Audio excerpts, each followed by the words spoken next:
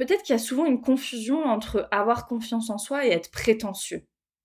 Avoir confiance en soi et être arrogant. Or, c'est pas du tout la même chose. Avoir confiance en soi, ça permet de se sentir en sécurité. Et c'est parce qu'on se sent en sécurité qu'on a confiance en soi. Donc c'est vraiment ce mouvement bidirectionnel. La sécurité et la confiance en soi, c'est vraiment euh, comme tic et tac. Ça marche ensemble.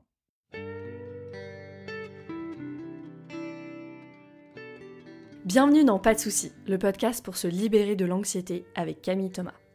Je suis Camille et avant d'être coach de santé, j'ai été une grande anxieuse. Je me suis libérée de l'anxiété le jour où j'ai compris que ce n'était pas dans ma tête. Pas de soucis, c'est le podcast pour celles et ceux qui sont fatigués par tout ce qu'ils ont essayé et qui savent qu'ils ont le pouvoir de guérir de l'anxiété naturellement. Alors si tu veux vivre sans anxiété et que tu as l'intuition qu'on ne t'a pas tout dit, ce podcast est pour toi. Je te retrouve tous les lundis pour explorer les pistes qui te permettront d'accéder au calme à l'intérieur de toi. Je suis hyper heureuse de vous retrouver dans le podcast aujourd'hui avec une question, peut-être une des questions qu'on me pose le plus souvent. Comment avoir confiance en soi quand on est anxieux ou anxieuse? Alors, vaste sujet, vaste sujet. C'est vraiment une question qui revient tellement souvent dans tous les appels découvertes que je fais avec les personnes que je vais coacher. C'est toujours c'est quoi tes objectifs? Un de mes objectifs, c'est d'avoir plus confiance en moi. Je pense que celui-là, il est à peu près commun à toutes les personnes que j'accompagne. Surtout des personnes qui ont déjà eu des crises de panique, qui ont l'impression que leur corps peut les trahir, peut les lâcher à tout moment. Souvent, elles ont perdu toute confiance en elles. Sur ce sujet, pour commencer, j'ai envie de vous parler de la chanteuse Adèle, que vous connaissez sûrement, qui a une carrière euh, plutôt pas mal.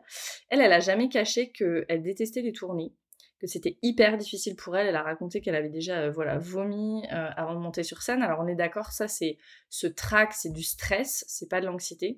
Mais elle, dit qu'elle refuse des opportunités, qu'elle a refusé de faire des festivals très souvent, qu'elle vraiment craint les tournées, etc parce qu'elle a peur de faire une crise d'angoisse. Et ça, c'est bien de l'anxiété. C'est vraiment cette inquiétude chronique. La peur, ça monte et ça redescend. L'anxiété, c'est là tout le temps. Et elle, elle a ça. C'est cette peur de faire une crise d'angoisse, cette peur qu'elle pourrait pas continuer, cette peur de jamais être à la hauteur. Adèle a ça. Vous imaginez la carrière qu'a Adèle, ok? Donc elle a une carrière plutôt pas mal. Donc ça veut dire une chose, ça veut dire que là, le manque de confiance en soi, c'est peut-être plus répandu qu'on le pense. Et ça nous pose une question. Est-ce que la confiance en soi, c'est une compétence qu'on peut acquérir Ou est-ce que c'est un don inné et si on l'a pas, on n'est pas allé au rab, euh, tant pis pour nous? Reprenons les définitions. Vous savez, moi j'adore reprendre les définitions. J'ai regardé dans le Larousse et dans le Robert, qu'est-ce que ça nous dit, les définitions sur la confiance en soi?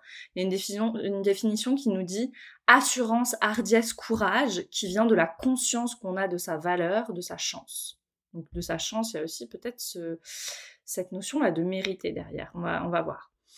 Une autre définition nous dit espérance ferme, assurance d'une personne qui se fie à quelqu'un ou à quelque chose. Et puis la dernière, je pense que c'est ma préférée, celle de, du Robert, je crois. Sentiment de sécurité d'une personne qui se fie à elle-même. Celle-là, elle est super puissante, cette définition, on va revenir dessus. Parce que de la confiance en soi, finalement, découle deux autres types de confiance. Donc il y en a trois en tout. Il y a la confiance en soi, mais il y a aussi la confiance en la vie et la confiance en les autres. Et je pense qu'elles sont intimement liées, ces trois confiances. Et chacune des trois, elle a le pouvoir de nous faire nous sentir en sécurité.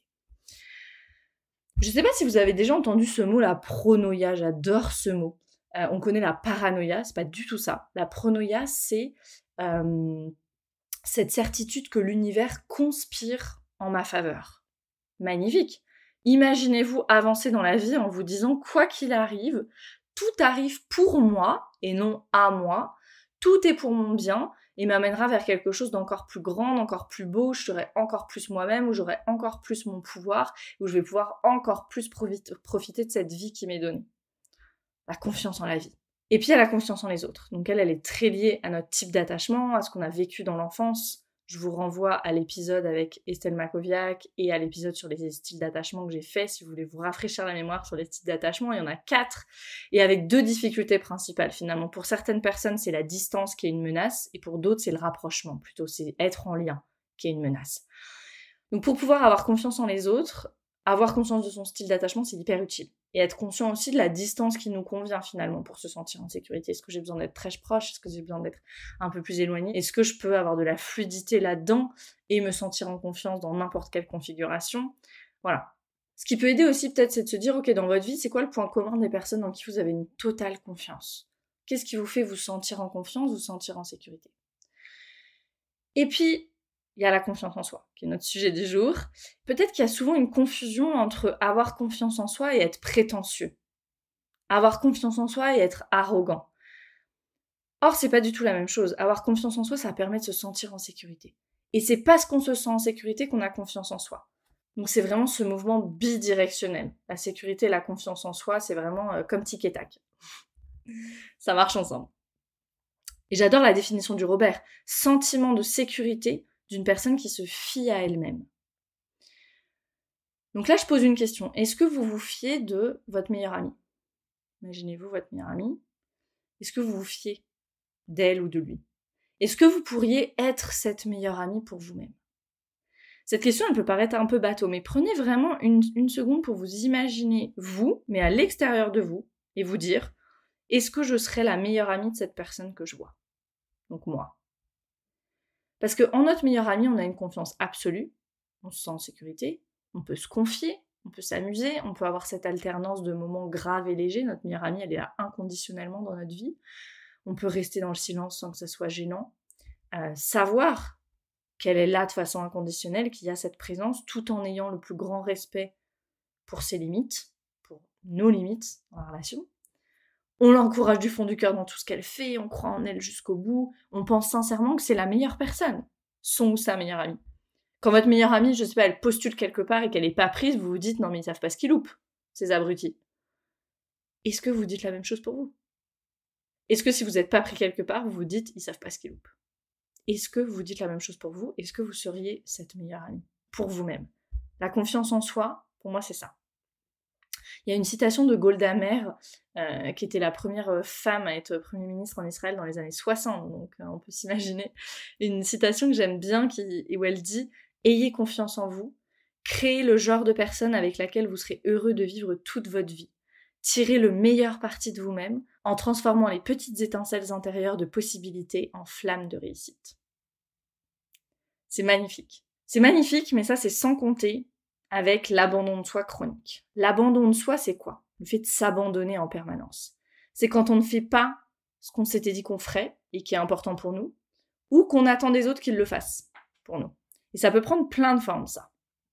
Ça peut être le fait d'attendre des autres qui prennent soin de nos besoins, par exemple, mais sans jamais exprimer clairement nos besoins. Vous savez Ah, t'as pas fait ça, mais en fait, je t'ai jamais exprimé que j'avais besoin de ça c'est se mettre en colère contre les autres, par exemple, parce qu'ils prennent pas soin de nous comme nous on le voudrait. Et encore une fois, peut-être qu'on l'a pas exprimé. Donc on, met en place ce cycle constant de frustration, de colère, quand finalement les autres ils manquent la cible, mais ils savent pas vraiment où elle est la cible.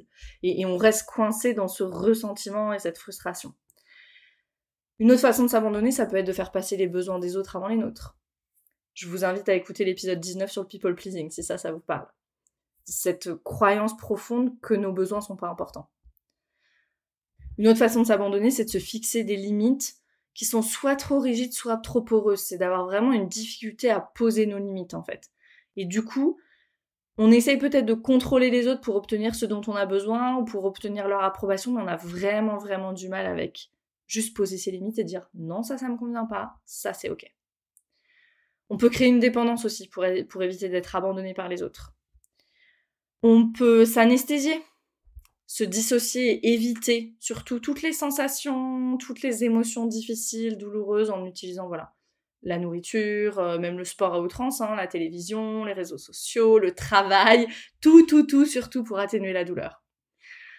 Une autre façon de s'abandonner, ça peut être euh, quand on, comment est-ce qu'on dit en français, stand up for yourself? En fait, quand on se soumet finalement euh, au manque de respect ou à des choses qui sont pas du tout appropriées, en fait, et qu'on encaisse.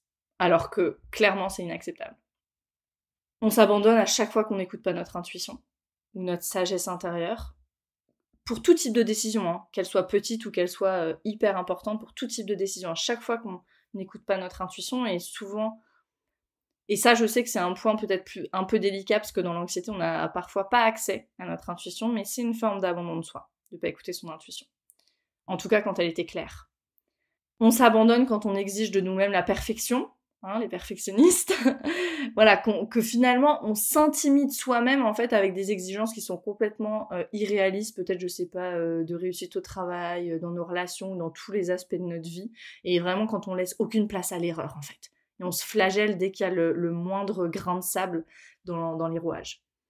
Et bien sûr, on s'abandonne à chaque fois qu'on n'écoute pas notre corps, alors qu'il nous réclame du repos, euh, qui nous réclame peut-être une alimentation qui est plus nourrissante, qui est plus adaptée à nous, qui nous réclame euh, de l'exercice physique, du temps dans la nature, et que voilà, on, ne se donne pas ça. Quand on fait tout ça, on s'abandonne. Ou plus précisément, on abandonne notre véritable moi, en fait. Parce que qui est à l'œuvre dans tout ça, dans tous ces comportements? Dans ces comportements ou non, non comportements, en fait, dans ce qu'on fait ou dans ce qu'on ne fait pas. C'est toutes ces parties de nous mais c'est certainement pas notre self. On se souvient, le self, c'est le vrai moi, le soi, avec ses qualités de calme, de courage, de clarté, de confiance, de curiosité. Soit c'est des parties exilées qui sont à l'œuvre, des parties exilées de nous qui ont désespérément besoin d'amour, de validation. Soit c'est ces fameuses parties managers qui veulent à tout prix réussir, être acceptées, qui ont une grande conscience des attentes de la société, de ce qu'il faut faire pour être aimé, qui veulent être parfaites. Ou c'est les pompiers qui anesthésie notre douleur à tout prix. C'est parti là, voilà. Si les managers n'ont pas euh, réussi dans leur mission, finalement, les pompiers arrivent, ils anesthésient notre douleur, ils nous font manger, ils nous font travailler, ils nous font faire du sport pour surtout, surtout pas ressentir. Dans tous les cas, quand on s'abandonne soi-même, nos comportements, ils sont motivés par la peur. Peur d'être abandonné par les autres, peur de ne pas être parfait aux yeux des autres, peur de ne pas être, de ne pas être parfait à nos propres yeux peur de ressentir, peur de mettre les autres en colère. Tout ça, c'est des peurs. La peur, c'est vraiment l'inverse de la confiance. Souvent, on entend soit on est dans l'amour, soit on est dans la peur. Mais moi, je dis même soit on est dans la confiance, soit on est dans la peur. On ne peut pas être dans la confiance et dans la peur à la fois. Ou en tout cas, c'est difficile et ça va s'alterner. On va avoir peur et puis après, ah ok, peut-être j'ai confiance et puis j'ai à nouveau peur. Mais la peur, c'est aussi là où le potentiel de se transformer est énorme. Robert euh, Masters, dans son livre Emotional Intimacy, il dit Si vous désirez vraiment une véritable transformation, ne cherchez pas plus loin que votre peur. Dans la peur, il y a une abondance d'énergie piégée et aussi les tests, les défis dont nous avons besoin pour vivre une vie plus profonde et plus authentique. Alors, quand on est anxieux, on sait ce que c'est, cette espèce d'inquiétude permanente. On s'inquiète souvent. Ok. Mais le doute vis-à-vis de soi-même, peut-être, c'est même encore plus vicieux que l'inquiétude parce que euh, on se rend souvent même pas compte qu'il est là. Au milieu de toutes les pensées qu'occupe notre esprit à longueur de journée, celles qui nous font douter de nous, elles n'ont pas l'air bien différentes des autres. En tout cas, pas au début. Jusqu'à ce que ce doute, il ait occupé notre esprit assez longtemps pour, voilà, commencer à se manifester dans le corps, en fait. À travers euh, un intestin perturbé, un plexus solaire contracté, un cœur lourd, une respiration saccadée, etc., etc. Tous ces symptômes qui sont euh, des symptômes de l'anxiété, d'un manque de confiance en soi. Quand on doute de soi, il y a de la peur, mais c'est une peur qui n'est pas intense. C'est plutôt une peur qui, quand elle est là assez longtemps, nous consume petit à petit et peut justement devenir de l'anxiété. Une des phrases que j'entends le plus en coaching, c'est j'ai l'impression que je ne vais pas y arriver. J'ai l'impression que je ne vais pas y arriver. Tout est dit avec cette phrase en fait. Le doute vis-à-vis -vis de soi-même, il est parfaitement illustré. Le manque de confiance en soi, il est parfaitement illustré en quelques mots avec cette phrase. L'émotion, c'est j'ai peur. La sensation, c'est je me sens pas capable. Et la croyance derrière, c'est je ne vaux rien. Et je répète souvent que l'anxiété n'est pas dans ta tête, et là je vais le répéter encore, on, ne se sort pas du manque de confiance en soi et du doute constant vis-à-vis de soi-même par la pensée. Une approche juste mentale, en fait, ça va pas fonctionner. On peut penser positif, on peut se répéter euh, de magnifiques affirmations sur nous-mêmes. Tout ce qu'on va faire, au mieux, c'est se distraire. Et dès qu'on va baisser la garde de cette pensée positive, le doute revient. Encore plus fort. S'il pouvait parler, le doute, il dirait sûrement euh, Où que tu ailles, je suis là. Il faut arrêter d'essayer de s'échapper en fait. Il faut arrêter d'essayer de s'échapper de ce manque de confiance en soi, de ce doute. Il faut aller à la rencontre de ce doute constant vis-à-vis de soi-même, mais sans s'y perdre. Donc qu'est-ce que ça signifie? Ça signifie qu'on va vraiment... Vraiment, c'est la même démarche que dans l'anxiété. On va plonger dans les sensations sans se laisser distraire par le contenu du doute. Donc on va pas courir avec notre esprit et croire à toutes les pensées que nous propose notre cerveau. On va juste rester dans les sensations. Donc je vais vous partager une petite pratique et, je pense qu'elle est importante que je vais vous mettre le lien dans les show notes pour euh, accéder à l'enregistrement. C'est une pratique où je vous juste vous fermez les yeux et vous vous autorisez, vous vous laissez vous à vous laisser envahir par le manque de confiance en vous, par le doute. Si vous êtes en voiture, ne fermez pas les yeux s'il vous plaît. et, une fois que vous êtes connecté à ce doute, prenez un peu de distance à l'intérieur. Et puis voyez, ok, si, vous pouviez dessiner le doute par exemple, ou si vous pouviez dessiner ce manque de confiance en soi, qu'est-ce que vous dessineriez? Si c'était une couleur, ce doute constant, si c'était un son, si c'était une texture. Et puis après, vous allez vous concentrer sur les sensations, sur votre respiration, en prenant le temps de ressentir. Je, vais vous mettre euh, cette pratique, je vais enregistrer euh, cette pratique et puis je vais vous mettre le lien dans les notes parce que je pense que c'est très important. Quand est-ce qu'on a le moins confiance en soi? Quand on est anxieux ou déprimé. Et avec la grille de lecture du système nerveux, on comprend pourquoi en fait. Quand on est en fight or flight ou quand on est en shutdown. Quand je suis en fight or flight, donc mobilisé ou en hyperactivation, il y a plusieurs mots, hein, tout est menace. Donc c'est presque que je suis une menace pour moi-même en fait. Les autres sont une menace, tout ce qui m'arrive dans la vie est une menace, donc je peux avoir ni confiance en moi, ni en les autres, ni en la vie. La confiance, elle est complètement hors de portée dans cet état-là. Quand je suis en shutdown, je suis immobilisé là. Et donc c'est assez logique, c'est difficile d'avoir confiance en mes capacités puisque physiologiquement je suis en mode économie d'énergie, je suis pas capable de grand chose. Et ça c'est un cercle vicieux parce que quand on n'a pas confiance en soi, notre critique intérieure souvent elle se met en marche. Et cette critique intérieure, on le sait, nous envoie en fight or flight. Je vous renvoie à l'épisode 14 du podcast sur la critique intérieure pour approfondir ce sujet-là, ce lien entre la critique intérieure, le système nerveux et l'état dans lequel ça nous met. Mais la bonne nouvelle, c'est que la confiance en soi, c'est une compétence. C'est pas euh, un don inné, comme je disais au début de l'épisode. Et puis si je l'ai pas, tant pis. Non, on peut vraiment l'acquérir. On peut, on peut l'entraîner.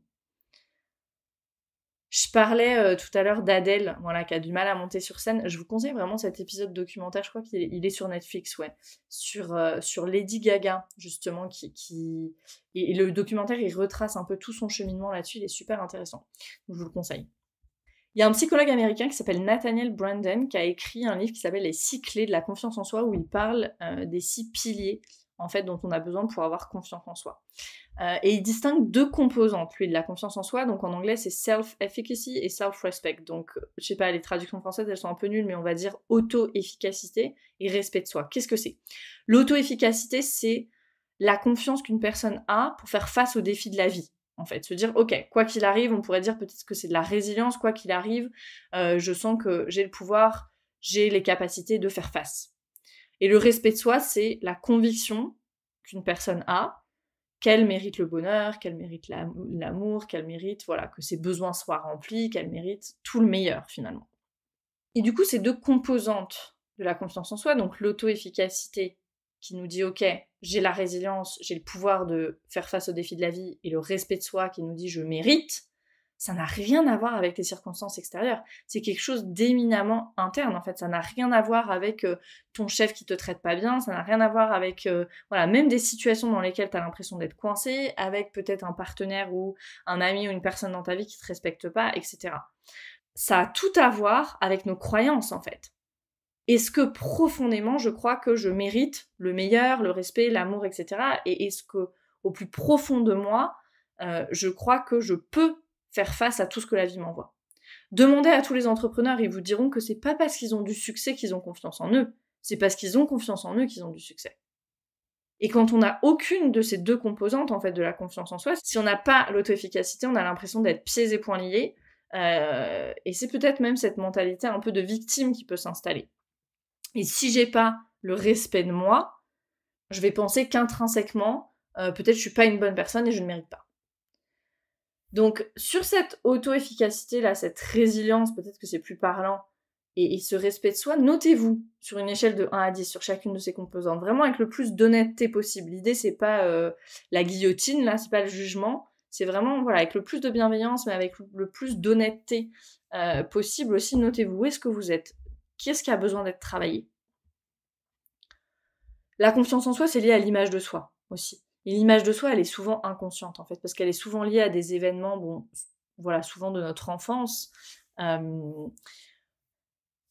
Donc ça peut être de façon très directe, Et puis ça peut être de façon indirecte aussi. Je vais donner un exemple. Donc de façon très directe, pour prendre un exemple personnel, moi petite à la maison, souvent on me répétait, voilà, quand je sautais à la corde à sauter et tout, je, sautais genre bien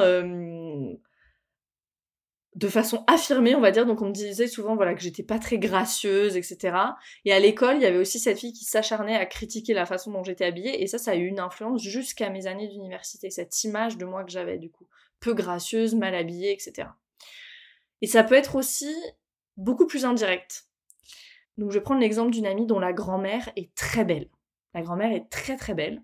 Et sa maman, cette amie, elle a grandi en pensant que voilà, elle était beaucoup moins belle que sa mère, etc. Et mon amie a grandi elle aussi avec cette croyance qu'elle était beaucoup moins belle que sa mère. Parce que elle, comme sa mère, c'est jamais à, elle deux qu'on faisait les compliments, c'était toujours à la grand-mère qui était d'une beauté euh, absolument extraordinaire. Donc là, il n'y a jamais eu de critique directe, mais il y a cette croyance qui s'est installée en comparaison avec la beauté de leur aîné. Et du coup, cette croyance qui, s'est installée de je ne suis pas belle, je ne suis pas désirable, etc., etc. On peut aussi absorber ces croyances d'un parent qui lui-même avait une faible estime de lui, par exemple, et n'avait pas confiance en lui. Donc ça, c'est encore plus indirect peut-être. Et tout ça, souvent, c'est subconscient. Donc si c'est subconscient, ça veut dire quoi? Ça veut dire qu'on n'y a pas accès. Et c'est là que toutes les méthodes qui travaillent avec le subconscient, comme euh, le psyché par exemple, c'est vraiment super efficace pour aller libérer les croyances qui ne servent plus. Et surtout, parce que l'univers n'aime pas le vide, surtout les remplacer par des croyances qui sont à notre service, pour le coup.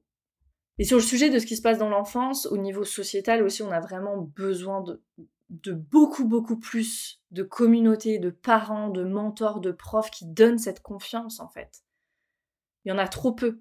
Il y en a trop peu parce qu'on n'est pas informé sur le trauma, on n'est pas informé sur l'impact qu'a ce qu'on peut dire à un enfant, l'impact euh, qu'a ce qu'un enfant peut ressentir. On n'a pas conscience de tout ce qui se transmet au niveau du transgénérationnel et maintenant on le sait hein, que le trauma se transmet de génération en génération. Donc on a besoin de plus de personnes comme ça, qui sont informées sur le trauma et qui sont informées et qui ont conscience que c'est important pour un enfant de développer cette confiance en soi. Moi, j'ai eu une prof au lycée d'une humanité juste incroyable et, je sais qu'elle a changé ma vie. Parfois, il suffit d'une personne. Hein.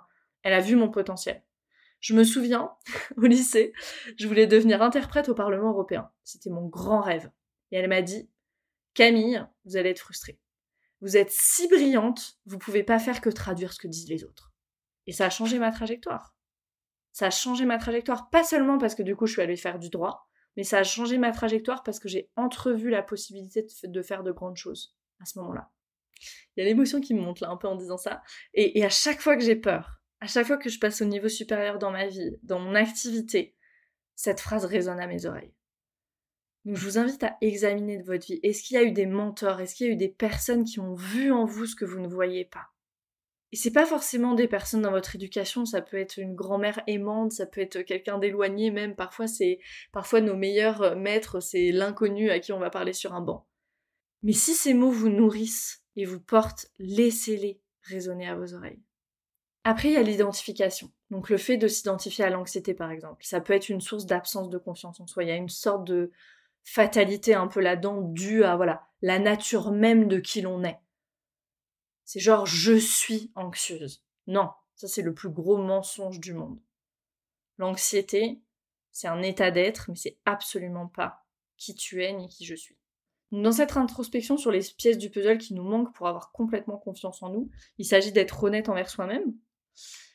Et ça peut ne pas être agréable. Pas agréable du tout, même.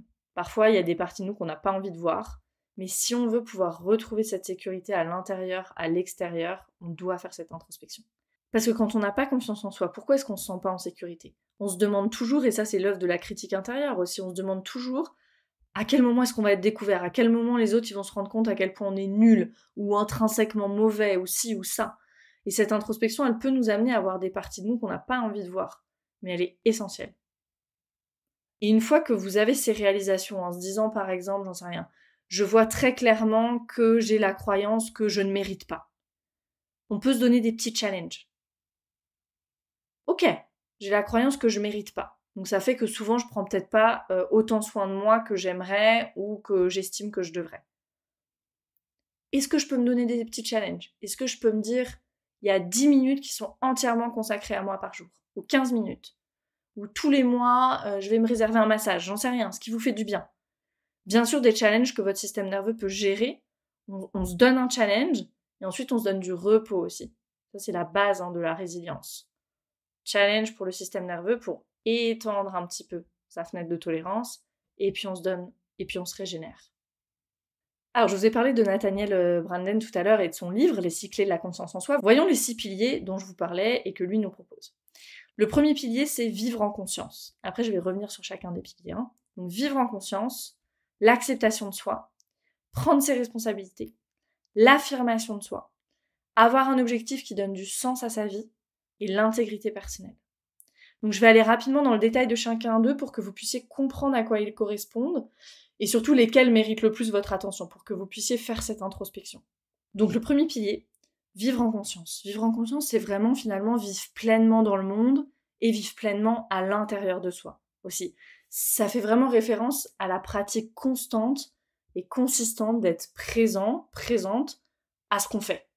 Être présent à ce qu'on fait et voir la réalité comme elle est aussi. Être ouvert, voilà, aux remarques constructives, euh, être ouvert au feedback, se comprendre soi-même, essayer de comprendre vraiment quelles sont mes forces, quelles sont mes faiblesses, quelles sont mes limites. Et en fonction de ça, ok, qu'est-ce que concrètement je peux faire, quel impact je peux avoir avec ça? Donc l'idée ici, c'est pas de ne pas s'autoriser à rêver ou d'avoir des grandes ambitions, etc. Mais c'est de dire, ok, je regarde autour de moi, comment est la situation, et je n'en fais pas des histoires sur moi en fait. Ok, bah je suis euh, plus douée, je sais pas moi. Euh, par exemple, moi, tout ce qui est technique, c'est pas mon truc, mais je suis euh, hyper créative, créatif, artistique. Voilà, ok. Bon bah, c'est mes forces, c'est mes faiblesses, et puis en fonction de ça, qu'est-ce que je peux faire? Et ça, ça nous permet aussi, par exemple, de faire des bilans. Si je suis entrepreneur et que j'ai des objectifs, je peux me dire, ok, qu'est-ce qui s'est bien passé euh, cette semaine ou le mois dernier? Qu'est-ce que j'aurais pu faire de mieux? C'est quoi mes axes d'amélioration? Sans en faire quelque chose à propos de soi. C'est ça qui est super important. Si je me fixe des objectifs, par exemple, je fais tout pour les atteindre, mais après que je les atteigne ou que je les atteigne pas, ça n'a rien à voir avec la valeur intrinsèque que j'ai en fait. Le deuxième pilier, c'est l'acceptation de soi. Alors là, je vais peut-être en parler avec la grille de lecture de l'Internal Family Systems, des parties de soi, parce que c'est vraiment super intéressant.